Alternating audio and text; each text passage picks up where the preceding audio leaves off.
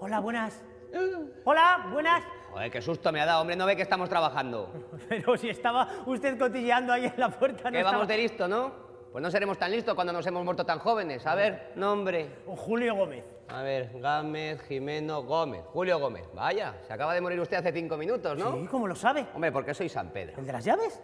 El de las llaves. Para eso le corta uno la oreja a un romano, para pasar a la posteridad por el de las llaves.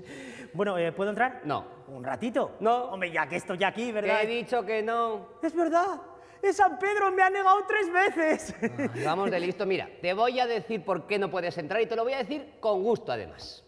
Por suicida, porque eres un suicida. Pero, hombre, que no, que, que yo no me he suicidado. Ah, no, y para eso nos dejamos el gas del horno abierto. ¡El gas! ¡Mi mujer! ¡Tengo que avisar a mi mujer! ¡Cariño! ¡Cariño! Tarde. La señora de Gómez, a sus pies. Pase, pase usted que tiene el cielo ganado. Mari Carmen. Qué torpe has sido siempre, Julio. Y tanto que sí. Pero, pero... Ha, ha visto lo que ha dicho mi mujer, ¿no? Que ha sido un error. Un error, sí. pues no se preocupe que eso lo arreglamos en un plis plas. Menos mal. Susana, sí, ponme con el maligno, por favor.